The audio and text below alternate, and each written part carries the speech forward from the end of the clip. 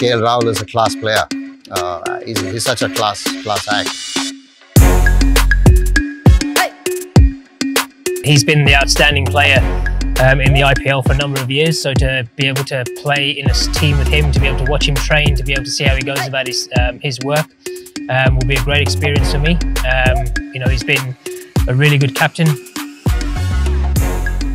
You know, so as I said, once again to to rub shoulders with guys as good as that, um, to learn from them is is you know it's knowledge that it's really hard to come by. So um, I'm really looking forward to that.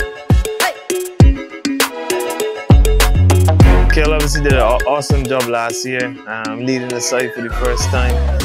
Uh, obviously, the entire team and, and, the entire season was a little bit roller coaster, but I thought um, he held his composure really, really well um, in, in, some key moments. And, um, and and also as captain, he led from the front with the back. You know, um, every time he, he, went out there, he gave us a, a, a, great start and really set up a lot of games for us. Uh, and, and I sort of expect much of, much of the same, really. Um, obviously, he's a year on. Um, as a captain.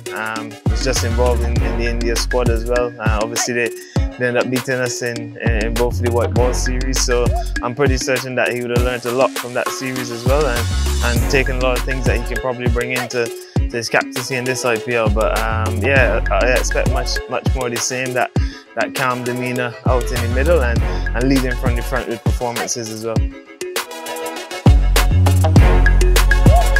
Think के राहुल कितना class player है सबको पता ही है लेकिन मैंने आ, अभी की बात करता हूँ आप देखो टी ट्वेंटी कितना ख़राब गया है उसका टूर्नामेंट ये सॉरी ये वाली सीरीज़ जो गई थी लेकिन उसके मेंटल स्ट्रेंथ और उसके करेक्टर शो करता है कि जैसे उसने कम किया है वनडेज में पहले में पचास नॉट आउट दूसरे में हंड्रेड ये उसकी मेंटल स्ट्रेंथ को बताता है। तो is an exceptional player brilliant captain और आ, बहुत ही अच्छा रहने वाला ये सीज़न